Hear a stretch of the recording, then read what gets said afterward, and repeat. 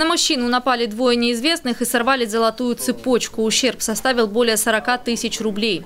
Несмотря на то, что преступление произошло ночью, потерпевший сумел описать нападавших. Ориентировка была передана всем нарядам полиции, несущим службу в районе.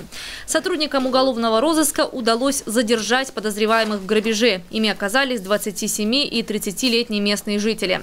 Мужчины ранее неоднократно привлекались к уголовной ответственности за имущественные преступления.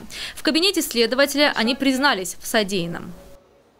В настоящее время по данному факту уже возбуждено уголовное дело, и мы просим всех жителей и гостей нашего города, кто а, пострадал от этих лиц, незамедлительно сообщить в полицию по телефону 02.